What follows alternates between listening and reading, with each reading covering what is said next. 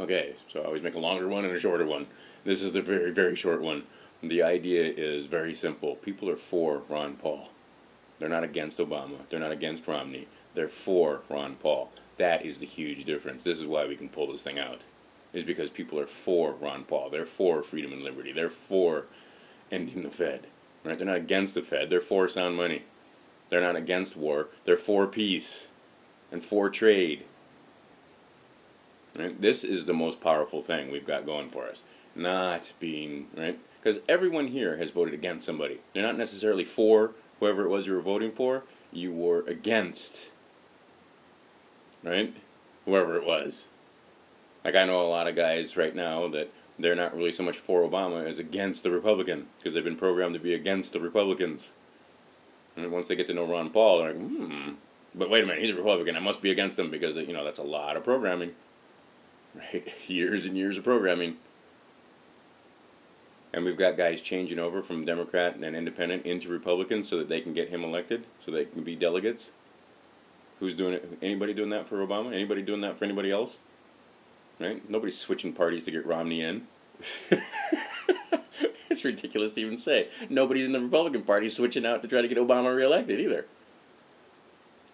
Right? The, the, the bottom line is Ron Paul. He's popular. And see, this is the whole point. All these people now getting fey. I see it all over Facebook. I see it all over the place. Oh, they're just going to steal the election from us. There's no use trying.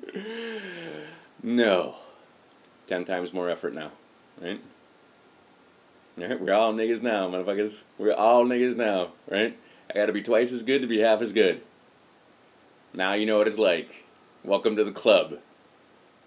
So, get out there. Self governance, not an easy thing. Self governance is difficult. And winning these things, it's hard work.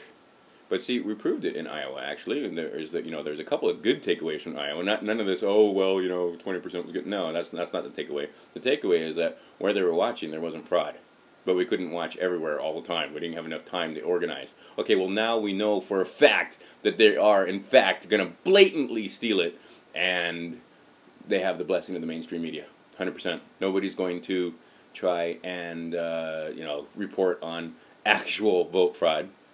They might give you some theater and some stories, right? Some, but they're not going to give you any news. They're not going to tell you what actually happened. So on the ground in Iowa, I know, yeah, we got to look forward to New Hampshire and you know South Carolina, and Nevada, and all these other places. But the remnants in Iowa, you guys need to sit down and make videos and prove, right? Just keep proving the fact that they stole that. That's the, the bottom line. As we go forward, and then in New Hampshire and in every place else, you got a 10 times more effort. Right? Because it worked. Everywhere where there were, where right, Santorum and Romney did not do well, where there were actual watchers, where there were no watchers, they did really, really well. What a coincidence. So we need more watchers. I'm telling you, self-governance is you got to get off the couch. Right? When comes time in Hawaii, believe me, I, I, I will actually have to leave my house. right? Okay, so you guys are going to have to get out there and just work 10 times harder. Like I said, man, welcome to the club, right? You're going to have to be twice as good to be considered half as good. Work 10 times as good, 10 times as much, then maybe we'll get the recognition that you know he deserves, where he's like, you know, at 50% where, where he ought to be. Because I'm telling you, truth, peace, liberty, right? Sound money, killing the Fed, right? Trading, ending wars, reining in this out of control government, reining in spending. These are the things 70, 80, 90% of the people this resonates with. Right? Everybody. Nobody's for torture. Nobody's for more war. Nobody's for more out of control spending. Nobody's for the FDA rating Amish farmers for, for raw milk, for God's sakes. Nobody's for taking grandma's mar- you know medical marijuana when she's got cancer. Nobody's for that. Right? They're for common sense. They're for decency. Ron Paul, common sense and decency. For liberty. Right? That's the difference. Not against Obama, not against Romney. Right? And all it's a war of attrition now, guys.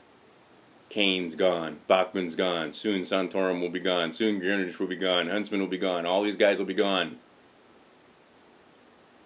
So all you got to do is last. And work 10 times harder. And don't become fey. And oh, it's right? no, nope. Just go to work.